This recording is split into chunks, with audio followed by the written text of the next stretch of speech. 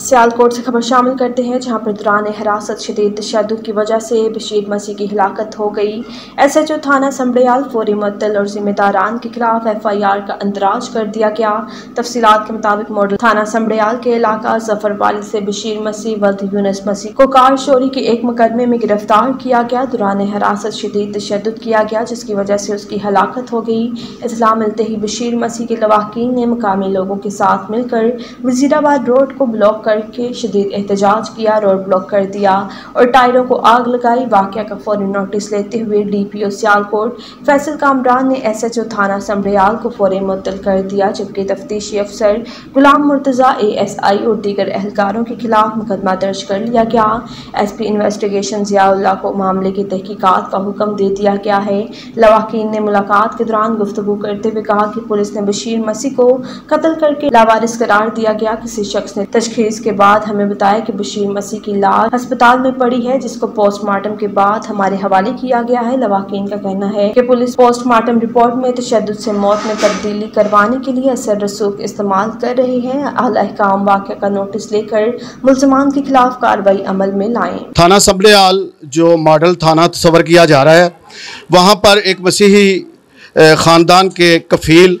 बशीर मसीह को बेदर्दी से कत्ल कर दिया गया है।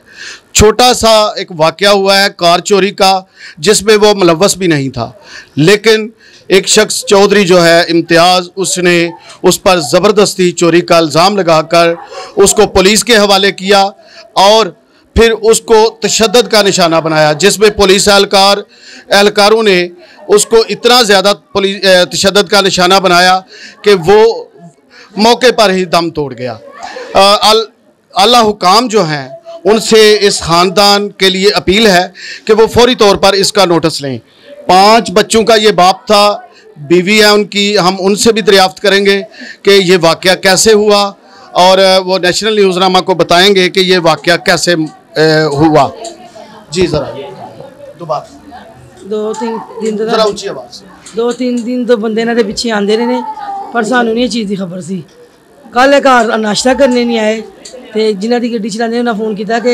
भार घर आए ने तो मैं क्या नहीं तो मैं क्या क्यों? कहते उनका फ़ोन नहीं लग रहा। सानू सानू बस ही बचना सी गड्डी फड़ी गई है गड्डी के कागज़ पूरे नहीं गए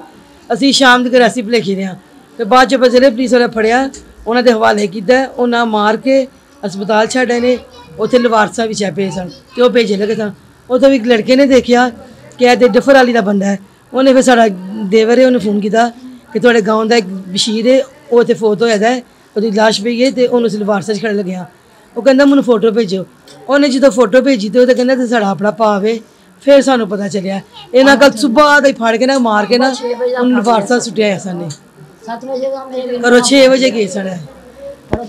ਸੱਤ ਵਜੇ ਮੇਰੇ ਵੀਰ ਨੂੰ ਫੜ ਕੇ ਮਾਰਿਆ ਨੇ ਮੇਰੇ ਵੀਰ ਨੂੰ 7 ਵਜੇ ਤੱਕ ਫੜ ਕੇ ਮਾਰ ਛੜਿਆ ਨੇ ਮੈਨੂੰ ਇਨਸਾਫ ਚਾਹੀਦਾ ਵੇ ਇਹ ਪੁਲਿਸ ਵਾਲੇ ਕੋਲੋਂ ਵੀ ਤੋਂ ਚੌਧਰੀ ਦਾ ਵੀ ਮੈਨੂੰ ਸਾਫ ਚਾਹੀਦਾ ਹੈ ਮੈਨੂੰ ਇੰਜ ਸਬਰ ਨਹੀਂ ਜੇ ਆਉਣਾ ਮੈਨੂੰ ਇਨਸਾਫ ਚਾਹੀਦਾ ਜੇ ਮੇਰਾ ਵੀਰ ਸਾਜੇ ਇਹ ਮੇਰਾ ਹੀਰਾ ਸਾਜੇ ਮੇਰੇ ਭੈਣ ਕੋਈ ਨਹੀਂ ਸੀ ਕਮਾਉਣ ਵਾਲਾ ਉਹਦਾ ਮੇਰਾ ਵੀਰ ਕੱਲਾ ਕਮਾਉਣ ਵਾਲਾ ਏ ਉਹਦੇ ਬੱਚੇ ਛੋਟੇ ਛੋਟੇ ਨੇ ਉਹਨਾਂ ਦਾ ਕੌਣ ਵਾਰਸ ਬਣੇਗਾ ਇਹ ਕੁੱਤੇ ਨੇ ਇਨਸਾਫ ਨਹੀਂ ਕੀਤਾ ਇਹ ਪੁਲਿਸ ਵਾਲਿਆਂ ਨੇ ਲਾ ਛੜਿਆ ਵੇ ਆਹ ਦਿੱਤਾ ਵੇ ਨੂੰ ਉਹਨਾਂ ਨੂੰ ਫਿਰ ਪੁਲਿਸ ਨੇ ਬਿਠਾ ਲਿਆ ਨੇ ਉਹਨਾਂ ਸਾਰੇ ਕੋਲ ਨਹੀਂ ਇਨਸਾਫ ਕੀਤਾ ਮੈਨੂੰ ਇਨਸਾਫ ਚਾਹੀਦਾ ਵੇ ਮੈਂ ਭੈਣਾਂ ਦੀਆਂ ਕਦ ਪੜਈਆਂ ਉਹਨਾਂ ਨੂੰ ਰੋਣੀਆਂ ਪਈ ਉਹਨਾਂ ਦੇ ਮੀਵੀਆਂ ਇੰਜ ਰੋਣ ਜਿਵੇਂ ਮੈਨੂੰ ਰੋਂਦੇ ਨੇ ਪਏ ਜਿਵੇਂ ਉਹਦੇ ਬੱਚਿਆਂ ਨੂੰ ਰੋਂਦੇ ਨੇ ਪਏ ਮੈਨੂੰ ਇਸ ਤਰ੍ਹਾਂ ਇਨਸਾਫ ਚਾਹੀਦਾ ਮੈਨੂੰ ਬਸ ਇਨਸਾਫ ਚਾਹੀਦਾ ਵੇ